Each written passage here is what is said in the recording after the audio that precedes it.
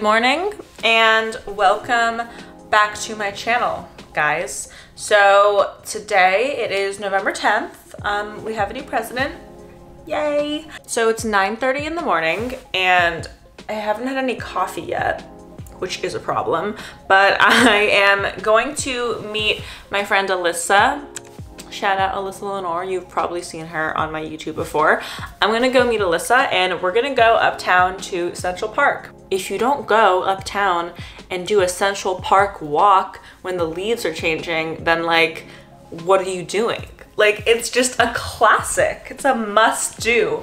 Um, I've been in New York for like 10 years now and I still like get really excited to go to Central Park in fall. So we're gonna go get some breakfast uptown it's funny like when you don't live uptown like you never go to central park like i think i've literally been to central park like four to five times like in my entire life i just like don't ever go because it's so out of the way um, but it's so worth it it's so beautiful i'm gonna go grab a coffee and then we're gonna go uptown and meet alyssa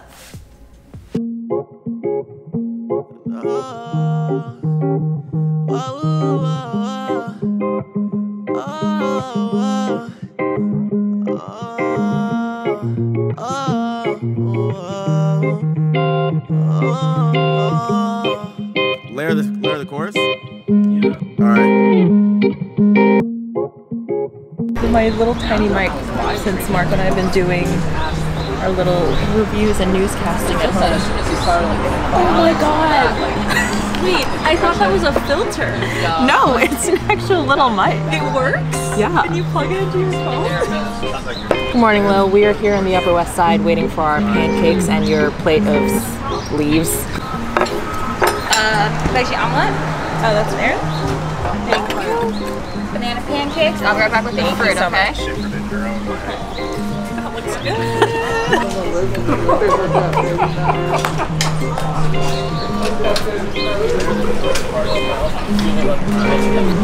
I approve. Gave you my heart for one evening. You changed up like the seasons on me. You broke my heart for no reason. That shit's fucked up. That shit's fucked up. Yeah. Gave you my heart for one evening.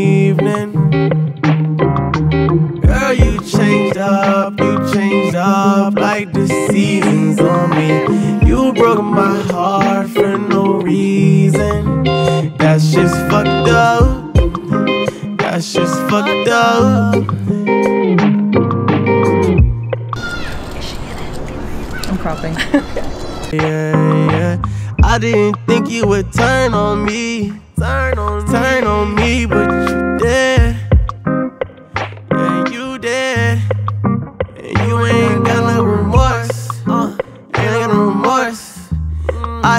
And she hit me right back with that da da da da like it's Morse. She said that we should let life run its course. I said, of course. And now I'm all alone. Oh, yeah, yeah. Oh, yeah. Such a beautiful day. But I think we've had enough nature. Oh, let's see. You changed up like the seasons on me. You broke my heart for no reason.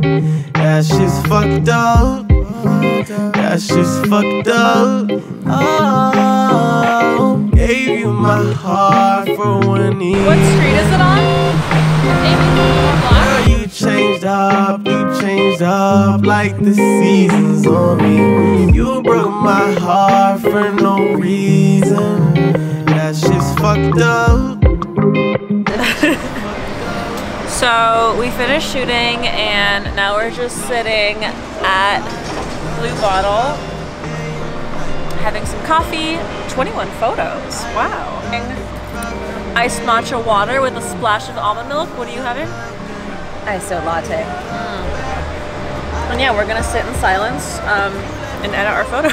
just ignore each other for like 20 minutes. It's okay, we talked to each other for a while, so I feel like we deserve this break.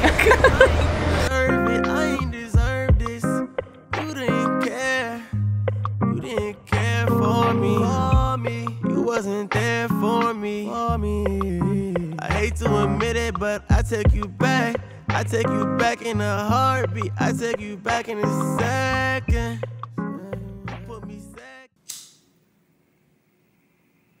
So I got home, made a cup of tea. I'm drinking um, the detox tea from Sakara. So now I'm just chilling. I changed into um, a rock tee from Style Finder. They sent me a lot of like really great um, like vintage tees and motorcycle tees and stuff like that. So I'm just chilling. It's crazy. It's like already dark and it's like 3:34. So, I don't really have any major plans for the rest of the day. I think I'm just to work. I have a lot of work to do. And I need to find my boyfriend a birthday gift because his birthday is swiftly approaching and I have like no ideas. Like at all. I have like truly no idea what to get. And like with gifts, like if a good idea comes to me, I'm a great gift giver. Like if I'm like, oh, that's perfect. And it's like meaningful, but it's also something they can enjoy. But if I don't have any ideas, I'm fucked. So right now I'm in the fucked category. So I kind of wanted to like randomly chat about something that's sort of been a source of anxiety for me in since I've been back in New York, honestly. So I was in California for the pandemic for three months. And then before that, I was living in LA for three months. So I've pretty much been out of New York City for over half a year. And I came back, and it's like everyone is like, oh my God, hey, let's get coffee, let's get a drink. Like, when are you free? When are you free? And I'm just like, I'm a total introvert in the sense where like I gain my energy from being by myself. Like after I spend time with people, like don't get me wrong, like I love socializing, I love my friends and like I love spending time with people, but like I need to decompress and I need sometimes I need entire days by myself just to like kind of like regain my energy, like eat healthy, like work out and like that stuff like truly brings me joy.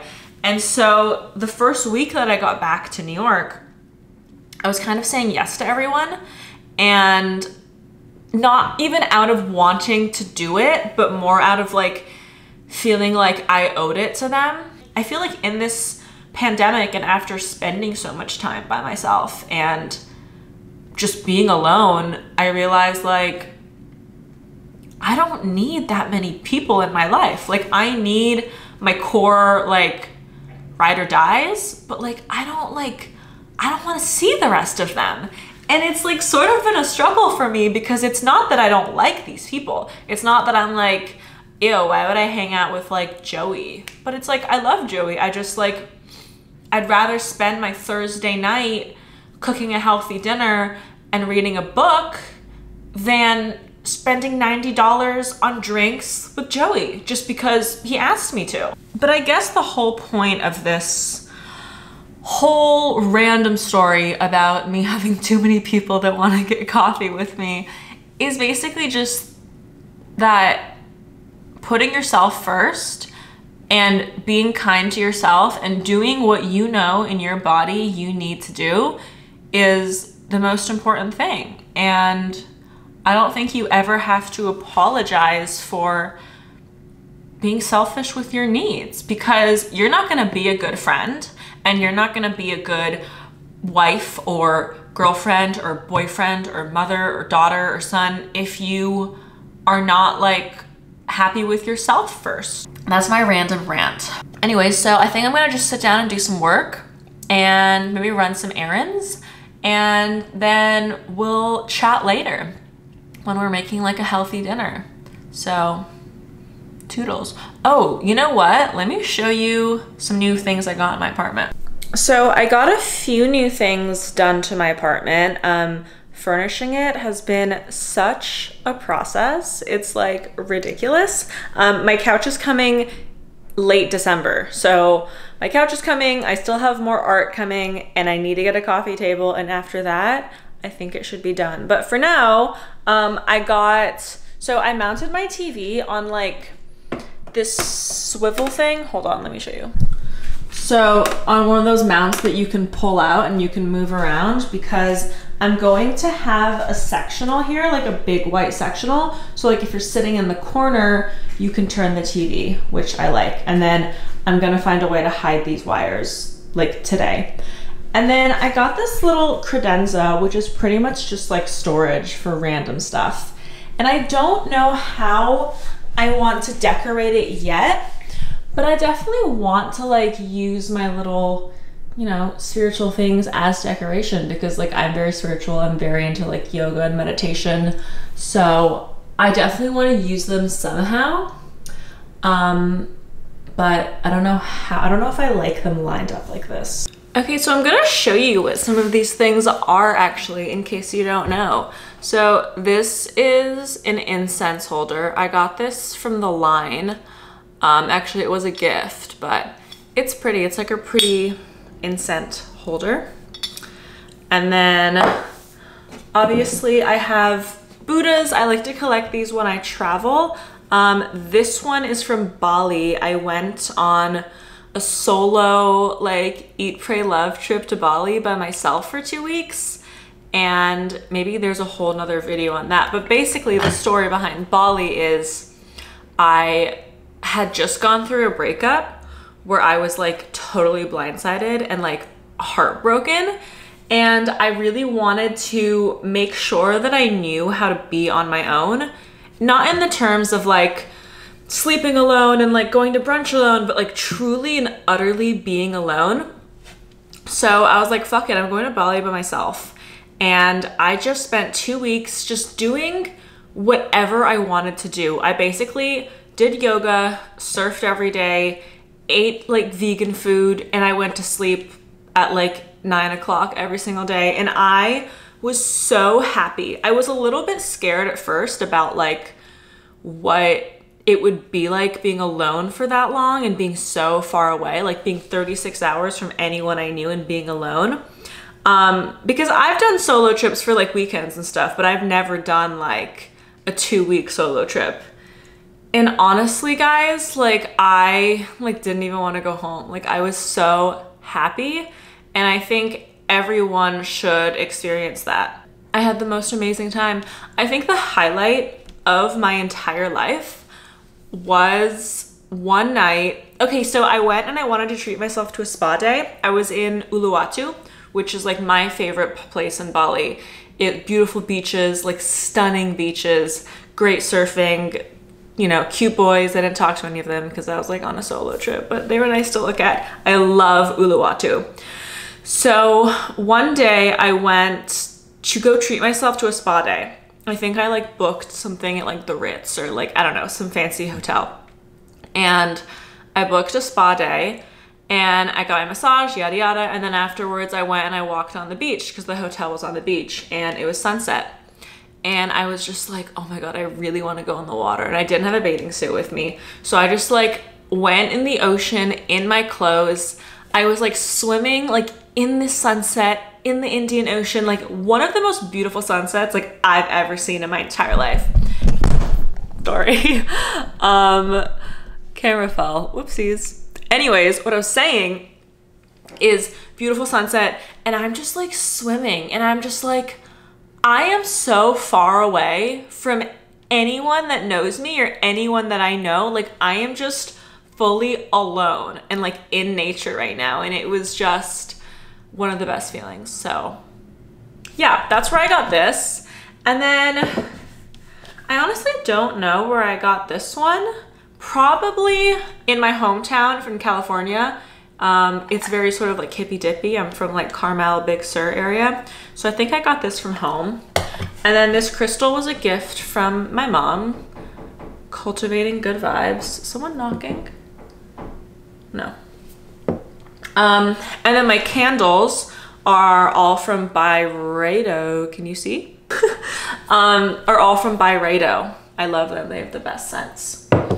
And then this is my singing bowl. So basically, the thing with singing bowls or sound baths or whatever is each bowl has like a different frequency vibration that's tuned into a different energy center in your body. So there are seven energy centers in your body, and each of them has a different purpose or function. So, your root chakra is your sense of grounding, your sense of home, your sense of security. You know, your heart chakra is your sense of ability to give or receive love. Your throat chakra is your ability to communicate. So there's all these different points in the body that sort of have different functions. You know, your solar plexus, is it solar plexus or sacral? That's like creativity. One is one down here is creativity and like one is like sex drive and ego. I always get those two confused. But anyways, so I got this singing bowl because this one is for communication and that's something that I kind of struggle with. Like sometimes I have a hard time like speaking up and like saying my truth, especially like in a group. Like I'm always the one to be like, yeah, whatever you guys want, like, you know. So, um I got this singing bowl and I kind of think it helps. If anything, it's placebo, but placebo still works. So let me, and it's also just so relaxing. Let me play it for you.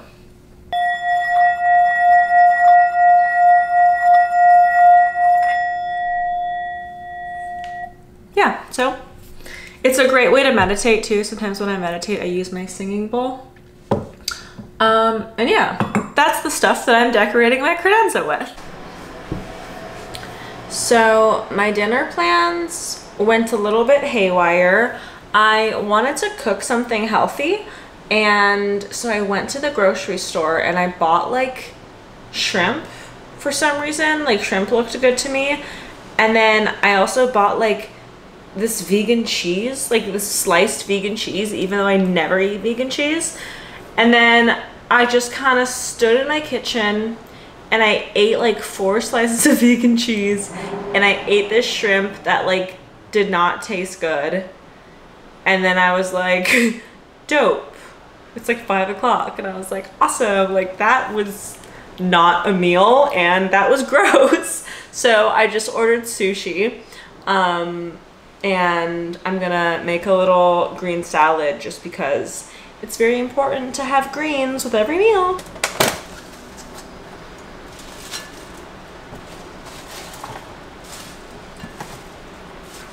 I got a salmon avocado roll and then I also got a like no rice roll, just mostly fish. So I got that. And then I made a little side salad of just um, greens and bell peppers and tomatoes with some apple cider vinegar. I'm gonna plop down on the couch with my sushi and I'm probably gonna watch The Bachelorette to be honest because I'm kind of on a bachelorette roll. So yeah, thank you for watching and um, I will see you guys in my next video.